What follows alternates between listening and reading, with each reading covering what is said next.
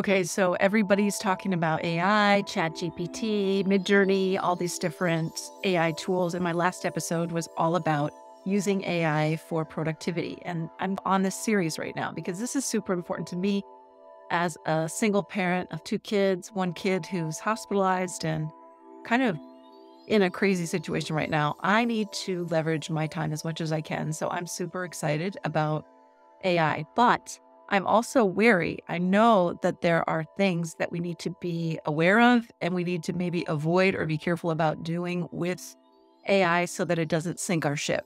And so if you saw the last episode and were listening, and if you haven't, go check it out. That one, I talked a lot about Descript and ChatGPT, as well as something called content at scale. And what I've learned since then, a couple of things. One, and maybe you know this, maybe you don't when you're using Chat GPT, you're entering a query or saying, hey, take this information and transform it into something else, like text, or you want to do research. Let's say it was like hockey in the US. What are the trends? The data that's there is only going to go up to 2021. Chat GPT, OpenAI, the content that's been pulled in that's related to any news or or events in the world is only going to go up to 2021. And so that's one thing to just be aware of if you're asking it to do some research for you. There are limitations. You got to do your work. And then you maybe need to plug in those details and then make it into an article, a blog, marketing, whatever the thing is. So be aware of that. That's number one. Number two is the filters that I mentioned in the last um, episode. So if I want to save a ton of time, everybody's like pushing, make your blog post, make your this, make your that with Chat GPT. And yes, it's awesome for brainstorming, creating awesome ideas, getting it out there super fast. However, if you don't put the human element and bake it in and massage the information, you're just generating robot talk, which Google can find. Like Google has filters and they know what's coming strictly from bots and has not been touched by humans. And so if you're trying to build traffic to your website using blogs, using, in my case, for podcasts for my show notes. There's SEO and things that I'm using that for. If I'm not mindful about cleaning up that content and making it more human, it could actually suppress the search engine results could be suppressed because it, eh, this isn't good content. It's created by a bot. So we're going to put this other content that's better because it was human written human thought, human language. We're going to elevate that thing way up here and we're going to suppress and put down this other content. So if you have a competitor, for example, who's got similar content, but they're writing it by hand, they're not using bots, or they're using a tool, like I mentioned last week, content at scale, which is much more human in terms of its output. I think it reads 100% human, which is phenomenal. And my test last week, which I used an actual spoken transcript put it into Chat GPT and I said, hey, take my words and pull out these salient points, the main points. And in this case, I made it into tweets. And you can see that in the other episode, but you can say, make it into a blog post about blah, blah, blah, make it into a summary, whatever. And then when I took that content and put it into one of these checkers that checks for bot AI content, the stuff that I had spoken that was then using ChatGPT made into content that came out as human, 100% human. So that may be one way around that problem. You also can use a tool like Content at Scale, which they charge for that. I think the lowest price is $150. And for that amount, I think you're allowed to generate three or four blog posts of a pretty significant length, maybe 2,500 words. So that's something to check out. But the next piece that I want you to think about is so we've got the filtering for bot, but also who owns this content. So I was listening to something the other day and it was something I hadn't considered. Okay, if it's your partially your content and you're saying, hey, make something out of it, or you're just telling Chat GPT or whichever tool, create a blog post in 74 hockey and the Bobby Orr craze and how it relates to modern day hockey, for example. I don't know why I have hockey on my mind. But if you asked it to do that, and then you started posting your content in all these different places, and even if it did work, there's a copyright issue that's still in the works that's has not been ironed out related to written text. So I looked at the chat GPT. You know, they have something that says, you know, what you generate, the gist of it is what you generate is owned by you. And then there's some other clauses that says pending our terms and conditions. And the terms and conditions, and I'll leave the links here if you want to check them out. The terms and conditions basically have some gobbledygook, but it's saying if you're the person giving input, like asking a question, hey, here's what I want you to do. You put in the prompt and then you ask for the output. You own that output.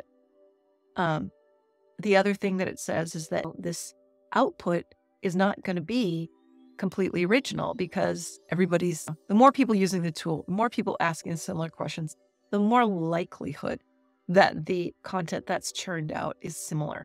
And so that's like a flag. Really, do you want your content about, you know, I wouldn't worry about hockey, but if you're doing marketing, business content, social media content, and people are asking the same question, what's the best way to get leads with Instagram? Maybe you're going to end up with an article that's really similar to somebody else who also is trying to do the same thing. And then what happens, and this is why Google has these filters, is because then we're going to have this very blase internet of content that's just a major echo chamber of stuff that bots went out and got and cobbled together into an article. However, if you take that content and you put your own ideas on it, you change the words around, you maybe uh, massage that content from your point of view with your voice, that kind of thing, you can make that content shine and you can make it more human. And again, you can set yourself apart from all the other people out there who aren't aware that there's a copyright issue or there are SEO filters and things like that. So really, really important. And the reason why I want to share this now, because I'm on this AI bandwagon for myself, is I don't want to propel people in this AI direction and then look back six months, a year from now and go, oh, I shouldn't have told people to use these tools. But I think if you use them intelligently and you know what some of the risks are, and you can work against the grain a little bit and be more aware, maybe, of, than some people who are just jumping in and aren't asking smart questions, who generate an entire website worth of blog posts or marketing materials and then find that they're suddenly not getting any reach on their website, or who knows what's going to happen down the line. So, one of the other things that I read when I was reading through this article is the suggestion, it's in the legalese, is that when you do use AI, you should comment somewhere in in the content at the bottom of the content wherever that this content was in part or in some way generated using AI. And I don't know that you need to name the tool specifically, but I think there may be in the future um, a requirement for that. I don't know. These are all things to think about. So then it's the copyright part. Do you want to risk owning or not owning your content? And again, the more you can have a hand in it, the more it's yours. And from this perspective, with the legal waters being a little bit murky right now, when I was doing this research, is that what it's shown is that the other tools that create art content so, Midjourney, if you look at the last episode, the main thumbnail image is from Midjourney. And that is a word to art tool where you type in a word and you say how you want it to look, and they're refining keywords for the type of look and feel. You know, do I want this to be Japanese ink? Do I want it to be anime? Do I want it to be Disney? You know, there are different styles. I made up Disney. But you can choose these styles and it will generate images that are very specific. You could say, I want a girl sitting by the water near an oak tree. Her foot is in the water. She has pale skin, dark hair. She's wearing a pink dress. You can be very detailed. And then you say the style you want it in. And you can even do refining things about lenses and lighting. And it's just crazy. And what comes back is beautiful. And you can refine it from there and have other variations made. And then the reason why I'm mentioning this is then you own it. So because it's not created by a human, it's out and it's taking these images from who knows where, all over the internet, all over, and modifying them, mixing them up. It's not owned by Midjourney, it's owned by you because it's not touching human hands, apparently.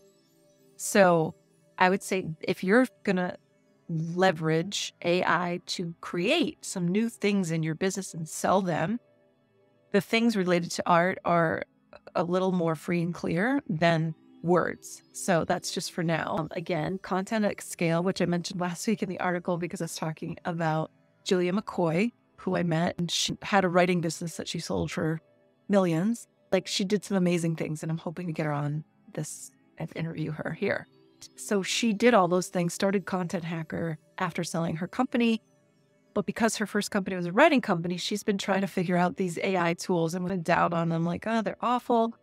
There's no human element. And then she found Content at Scale, which is an AI company that generates really beautifully written, natural human long form content that passes these AI checkers. And it's not robotic, it's 100% human or something close to 100. And because of this copyright question, they explicitly, expressly state that what you use with their tool, what you generate, belongs to you. And so that's a tool you have to pay for. It's, like I said, this $150 is a low end entry point. There's a whole bunch of different levels. But if you want to give it a try, go there. And then that will give you a sense of security around. You're leaving? Okay. I love you. Bye. Have fun tonight. So that, she's off to karate. So that will give you a sense of security around the SEO, not having things filtered and suppressed. It'll give you the security around the copyright piece. And then the other thing is you know, just if you want to orient some of what you're doing, whatever you're coming up with when you leverage AI and have it be related to art or products in some way, those things are a bit safer in terms of intellectual property. So I highly recommend using the tools and exploring them if it's something you're interested in and you want to save time, generate ideas very quickly. I mean, I've used AI for titles, I've used AI for quick summaries of things, for, uh, oh my God, I can't even remember all of them. I've just used it so much this week to help other people in my podcast group with some of the things they were trying to come up with their podcast descriptions, podcast slug lines, statements, things like that lists of things, doing some research that I know doesn't matter whether it's beyond 2021 or not. And it's been amazing. And I haven't used them as they are. I mean, just knowing the information is what I needed was like, oh, it's doing the research for me. And so, on a related note, if you've used one of the other search engines from long ago called Bing, you may have seen a prompt. I wouldn't have even known about this if I hadn't been doing all this AI research, but Bing is are going to release their engine right to their search engine so that when you type in a query on Bing, it's going to start typing just like ChatGPT is and doing research for you and giving you a very specific, up to date, meaning pulling in current events. It is 2023 content, not 2021. So that's super exciting. I'm on the wait list for when Bing releases it. I haven't gotten the go ahead yet, but if you want to go check it out or type in Bing and you should see large thing that says, "Do you want to get on the wait list for this?"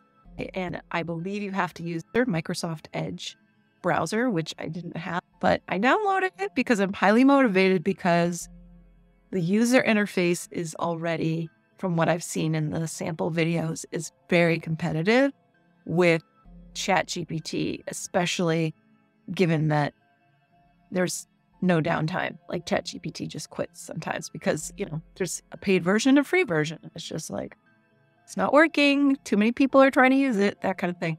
So, those are my tips related to AI. Strongly recommend folding it into whatever you're doing, especially if you have to come up with images. And I'll get into doing a Midjourney overview as well. But for now, it can save you a ton of time with generating ideas, doing really brief research, generating anything from recipes to summaries, descriptions, bios. Like it's a, it's something. Now, I hope there's something here that's real helpful to you, at least makes you aware of what you need to be thinking about and just wishing you a good week. Lots of love to you all, and I will see you on the next episode. And you can go check out the last one over here. Thanks.